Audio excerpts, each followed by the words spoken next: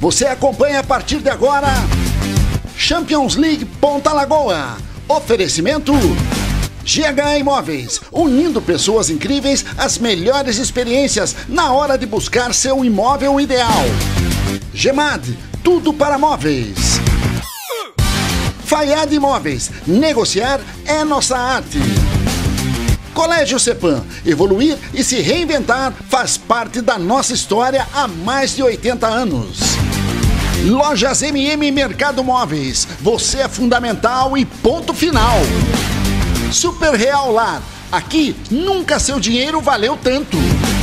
EF Intercâmbios, cursos de idiomas no exterior com mais de 50 lojas próprias.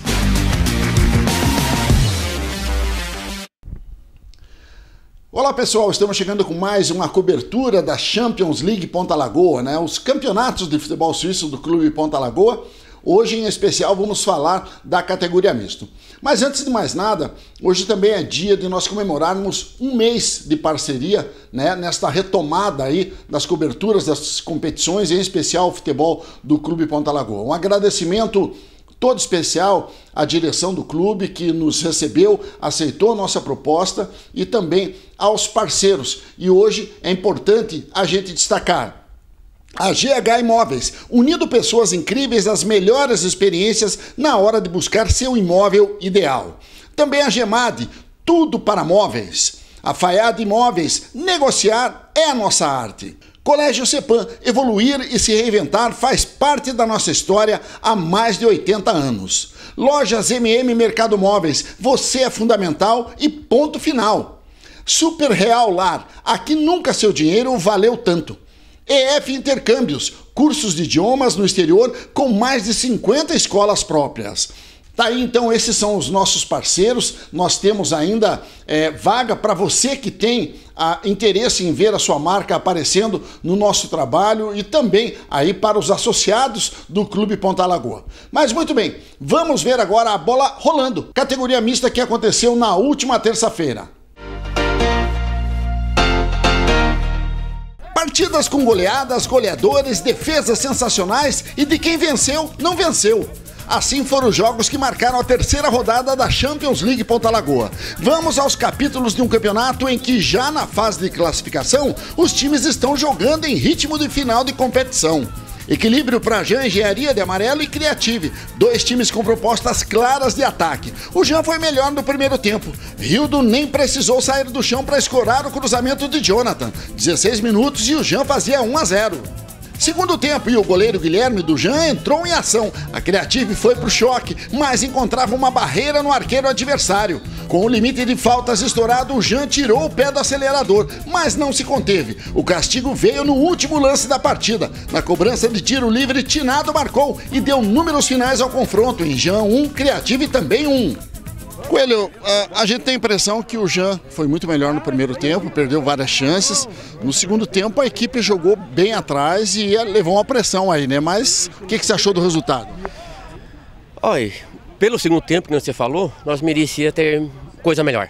Mas como eles fizeram um melhor tempo no primeiro, ficou bom o empate. Agora um jogo digno aí de time grande mesmo, né? Não, são dois times bons, dois times bons, né? Então acho que o empate foi o certinho. Agora, em relação à atuação dos goleiros, você segurando atrás de um lado e o Guilherme segurando do outro. Também prevaleceu a, a boa performance dos dois arqueiros. Com certeza, a experiência e a juventude. Então, até nisso deu empate. Guilherme, fala pra gente aí, é, qual foi a, a, grande dificuldade que o Jean teve, especialmente no segundo tempo? Porque vocês fizeram uma etapa, um primeiro tempo bem legal, embora dois times assim extremamente equilibrados, né? Mas qual foi a dificuldade da segunda etapa? Eu acho que tanto a dificuldade na, na, primeira quanto na segunda foi a gente ter o excesso de faltas. Nos dois tempos nós estouramos quatro faltas. No primeiro até a gente conseguiu manter ali as quatro, não tem nenhum tiro livre. Na segunda já não, não deu tão certo esse, esse esquema. É, o jogo foi bom, foi pegado para os dois lados, o jogo bem corrido. O nosso, nosso erro foi justamente as faltas. Né? No último minuto, fazer a quinta falta, é, dar um tiro livre para eles, né? E eles chegaram ao empate. Você pode entender aí que de repente é, esse um ponto obtido contra um time do nível do Criativo aí se torna importante nessa sequência do campeonato? Ah, nesse campeonato curto, todo ponto é importante, né? É, é importante você pontuar, chegar e classificar. Quando você tiver classificado, daí o mata-mata é outra história, é outro jogo, é outro clima, é tudo diferente. No campo ao lado, mais emoção. O conceito Cineflex aproveitou a boa fase do Marcos Huck para colocar pressão em cima da academia jogando de azul.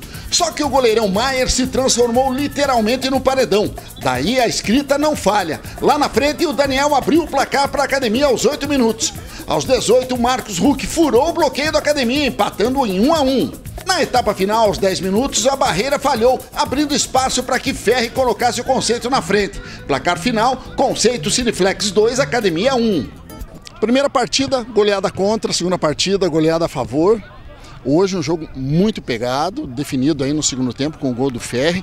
Uh, a equipe de vocês acaba se encontrando um pouquinho mais dentro do campeonato, né? É, estamos se encontrando, se ajeitando. Tamo, vamos para disputar aí, né? Se recuperando da primeira rodada. Primeiro jogo nosso junto ali, como eu falei, né? E, mas a gente está se acertando, vamos, acredito que vamos brigar pelas cabeças aí para classificar bem e, e ir para semifinal e final bem.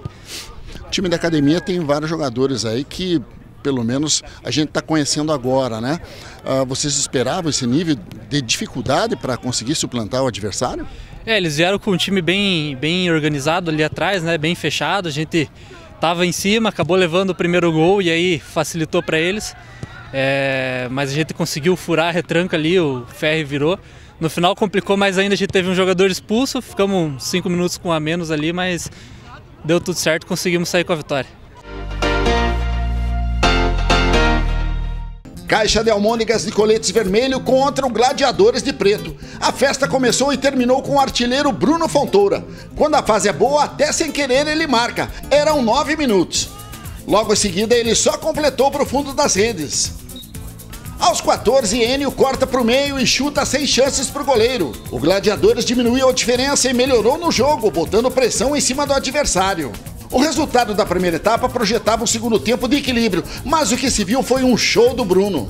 Aos 9 minutos ele ajeitou para perna boa, daí é caixa, 3 a 1. Aos 16 ele mesmo se encarrega de fazer o quarto.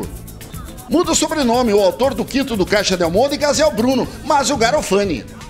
Um minuto depois, Vitor faz 5 a 1. Aos 23 tem gol, sabe de quem? Dele, Bruno Fontoura, 6 a 1. Ele ainda marca o sétimo e chega ao seu décimo segundo gol na categoria misto. Segura o homem. Final, Caixa de Almôndega 7, Gladiadores 1. Mais uma boa vitória, Vini. O time construiu o resultado aí, meio que é o natural, né? Conduzindo bem a bola, tendo bastante a posse, mas atacando com segurança. Na verdade, a gente, o nosso ataque ali, ele é muito bem estruturado, né? A gente tem um pivôzão de ofício com nove de referência, né? Que é o Bruno muito forte, dificilmente ele perde a bola. Então a gente dando a bola no pivô, sempre passa eu, o Vitor, que é livre, e a gente sempre está construindo os gols, em, também os laterais descem a fundo e ajudam a gente. E foi construindo natural, como você bem falou. A gente não, não forçou, foi tocando a bola, construindo, até que saiu naturalmente os gols aí. Acho que foi 8 a, 8 a 1, se não me engano a vantagem de você ter o pivô de ofício, ou inclusive o Vitor já falava isso no jogo passado, né? E ter jogadores velozes para chegar e encostar nele ajuda muito. Apesar que ele virou, ele onde está apontado o nariz, ele bate, né? Igual a gente tava brincando no, no, no próprio jogo ali. É, ele tá fedendo gol, tá fedendo gol. Mas é muito bom porque também a gente a gente tá passando bem a bola e tal. Então, como ele segura dois ou três do, da equipe adversária, fica fácil porque a gente, a gente sobra com a bola. Daí fica mais livre de jogar, fica bem bom. E nossa defesa, a equipe sólida, né? Nossa defesa, nossos laterais, todos bens. No campo ao lado, gemado de coletes amarelos contra o Fantasma, mas parecia um coletivo do operário. É claro, não no mesmo nível, melhor ainda. O Matheus aproveitou o rebote da barreira e chutou forte para fazer 1 a 0 Gemade. Aos 13 minutos, o mesmo Matheus ampliou para 2 a 0. Não temos o gol do Stone do Fantasma, mas podemos dizer que foi um golaço, 2 a 1. E a moda que não quer cair, o bicudão. Dudu Pilate avançou pelo meio. O chute não saiu forte, mas o goleiro aceitou. Gemade 3 a 1. O primeiro tempo se encaminhava para uma vitória tranquila.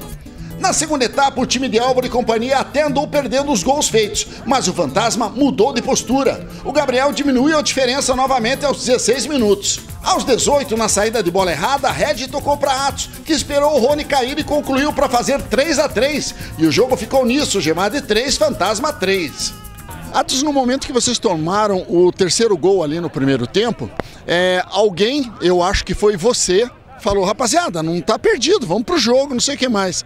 Parece-me que valeu o puxão da orelha e a vontade do fantasma de obter um bom resultado, né? Isso aí, é...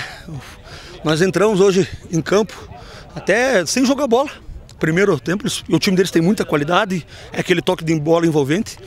Jogam muito, são muito bons mas a gente tem muita vontade e a gente se supera na nossa vontade também. Mas a gente sabe jogar bola. Né? Apesar de ter jogador que dentro de campo desrespeita também, chama a gente, né? falta com respeito, que a gente não faz isso nem no dia a dia da gente, muito menos dentro de campo. Né? Isso é, é triste, em todo lugar existe isso. Mas é, eu perdi um gol feitinho, vai para as pérolas.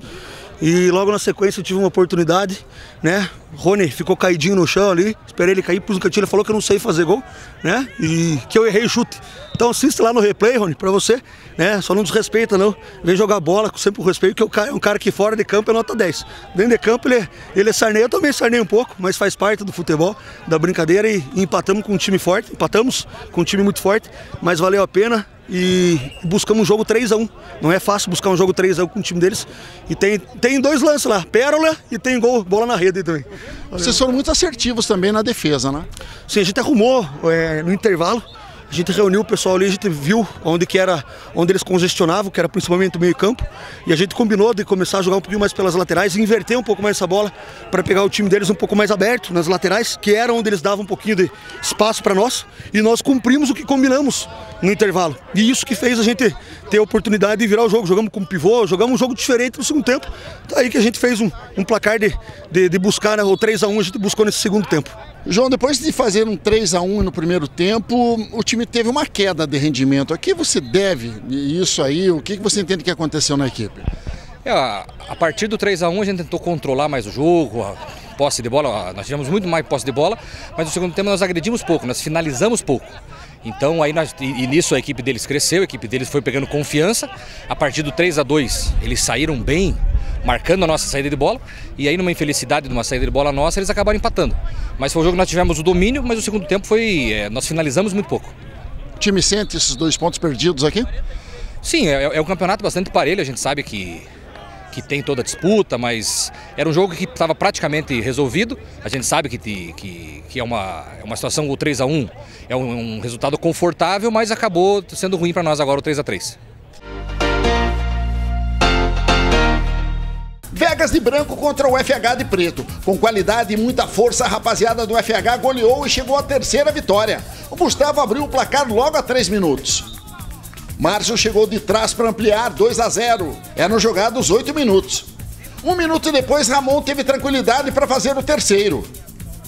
Tava tudo dominado e Gustavo avançou pela direita, marcando o quarto do FH, placar do primeiro tempo. O gol do jogo, Maiquinho na habilidade, vai fazendo fila. Passa por um, passa por dois, passa por três e chuta cruzado, 5 a 0.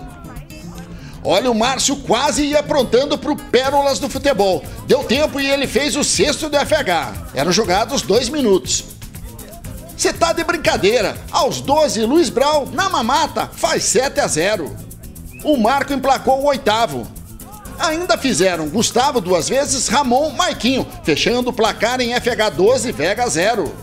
Gustavo, uma sonora goleada, liderança da chave, e um saldo de gols fantástico aí, o time tá voando baixo. Ah, graças a Deus a gente fica feliz com a vitória. É, nosso time encaixou, é, tá bem forte, né? Tivemos alguns desfalques hoje, mas graças a Deus aí foi um jogo tranquilo, a gente deixou o jogo tranquilo, jogamos bem, jogamos com seriedade e conseguimos sair com os três pontos e com um grande saldo aí. A gente percebeu, obviamente, que havia uma diferença em relação à equipe do Vegas, né? Com todo respeito, é claro. Mas quando você chega num placar assim tão dilatado, Gustavo, o que, que passa a ser o objetivo da equipe? É tentar acertar mais ainda esse conjunto? Como é que é? Ah, a gente sabe que é importante fazer saldo aqui no Lagoa, a gente sabe que tem três grandes equipes na nossa chave. Aí, nesse jogo, assim, a gente pensou em jogar com seriedade, só respeitando o Vegas e marcar muito saldo para conseguir uma boa classificação e sair em primeiro da chave. E vamos ao jogo do venceu, mas perdeu. E daqui a pouco você vai entender um pouco melhor essa história. O Norte de Laranja e Preto fez um gol aos 10 segundos de partida. Gol meteórico que poderia ter ajudado na partida do venceu, mas perdeu. Pra falar a verdade, foi o gol que ganhou o jogo pra gente. Porque aí destabiliza o time e tomar um gol logo com 10 segundos de partida, né? Foi uma bola lançada, se aproveitou da marcação que ainda tava se aquecendo no jogo, muito frio hoje, né? E a gente conseguiu fazer o gol e sair com a vitória. Aos 19, Rudolf ampliou para 2 a 0 e compensou todo o empenho do nós. Aos 25, Alisson se adiantou ao goleiro fazendo 3 a 0. Seria uma vitória do tamanho do mundo para um time montado às pressas. Ah, é gigantesca, né? A gente joga, decidiu jogar ali no, no final do, do mês passado, a gente já montou um timezinho ali do mês retrasado, montou um timezinho meio com as pressas. Uh, acabou que foi fortalecendo também, muita amizade envolvida, né? A gente foi, já se conhecia faz tempo, mas começamos a jogar faz pouco tempo e isso tem dado certo, porque a gente começou uh, e ganhamos o primeiro, empatamos o segundo e ganhamos agora. Então ainda está invicto no campeonato, né? a gente ainda está invicto. Venceu, mas perdeu. O Bruno diminuiu a diferença aos 12 do segundo tempo pro Tamo Junto, que perdeu, mas venceu. O Edemir colocou Tamo Junto no jogo com esse chute colocado, 3 a 2. O Nós, que venceu, mas perdeu, aguentou a pressão até o final. As pernas pesou, a gente tava com um banco só e no final nosso banco machucou ainda, né? A troca machucou, então teve que todo mundo se doar até o final.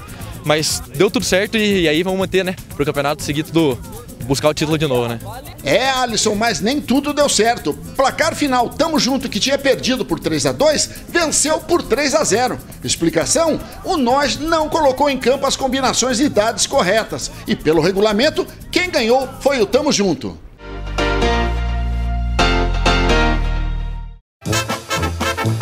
E é claro, hoje não poderia faltar o momento Pérolas da Bola. Lances que criam dúvidas no ser humano. Ser ou não ser? Eis a questão. Neste lance, o atacante do Jean estava jogando para qual time? Dúvida cruel. E aqui, o Vitor atacou ou tirou o perigo de gol? E de onde vem essa bola? Lisa, cheia de ginga, cheia de graça. E quem paga o pato é o jogador. E tem horas que ela, a bola, finta tanto que até passa a impressão que a gente é que não tem domínio dela. E olha o Atos aí, mais um que afasta o perigo de gol, atacante ou zagueirão? E às vezes nem precisa caprichar tanto no passe, pois o resultado final é um desastre. Ufa, que susto! Por um momento deu a impressão que o Pedro ia jogar contra o patrimônio. E fechamos com mais um chute cheio de efeito. Efeito ou defeito? Feras da Champions League Ponta Lagoa, ou melhor, pérolas da bola. É, pessoal, são as pérolas da bola. Um agradecimento também muito especial aos atletas que estão participando da competição, aqueles que vêm fazer a sua resenha depois de cada partida. E é claro, é, nós continuamos nesse ritmo de brincadeira, mas também é, fazendo uma cobertura legal, é, mostrando o que acontece de melhor e, é claro, também é, de pior dentro da competição. Uma, fica um abraço aí registrado a todos os atletas. Bem, em falando da categoria mista, vamos ver como é que está a classificação da competição. São dois grupos, como você sabe muito bem. Na chave A, o FH lidera com nove pontos ganhos, a Gemad vem em segundo com sete, Criativa está em terceiro com quatro, o Jan também tem quatro pontos, mas perde no critério, nos critérios de desempate. Em quinto lugar, o Fantasma tem um ponto e na sexta colocação, o Vegas, que ainda não somou pontos. Na chave B, quem está na frente é o Caixa de Almôndegas, invicto com nove pontos. Segundo lugar para o Tamo Junto com seis. A Conceito Cineflex está em terceiro com seis também. O Nós na quarta colocação com quatro pontos. Academia, quinto lugar com um ponto. E na sexta colocação, o Gladiadores, que ainda não venceu na competição. Muito bem, assim que os campeonatos forem retomados, nós estaremos presentes e, é claro, logo na sequência, trazendo para você as informações das competições, né? Tanto do livre como do master e também na categoria misto. Um abraço a todos. Champions League Ponta Lagoa. Oferecimento GH Imóveis, unindo pessoas incríveis às melhores experiências na hora de buscar seu imóvel ideal. Gemad, tudo para móveis. Faiad Imóveis, negociar é nossa arte. Colégio Cepan, evoluir e se reinventar faz parte da nossa história há mais de 80 anos. Lojas MM Mercado Móveis, você é fundamental e ponto final. Super Real Lar. Aqui nunca seu dinheiro valeu tanto. EF Intercâmbios, cursos de idiomas no exterior com mais de 50 lojas próprias.